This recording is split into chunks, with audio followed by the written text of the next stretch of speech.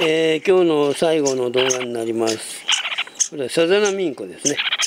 サザナミンコのこれオリーブってね、ちょっとこうグリーンがね、普通のやつよりは、はい、濃いめですね。それからオリーブの特徴としては、まあ、ここにちょっと黄色っぽいね、色ですね。これこれが出てくるんですね。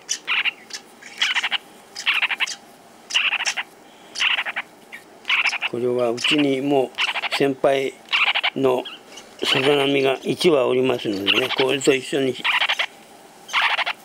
あと小桜も1羽ね一緒に。まあ小桜はね明日までしかいませんけども。これがちょっと前に来たさざ波のねルチノですね。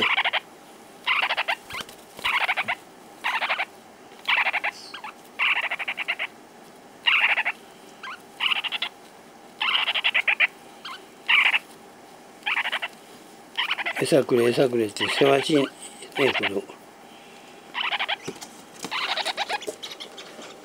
今今日まではね何日間かこの2羽は一緒にねこれとこれです仲良く暮らしてたんですけど想像しいのが1匹来てちょっと迷惑気味ですこの小桜君は。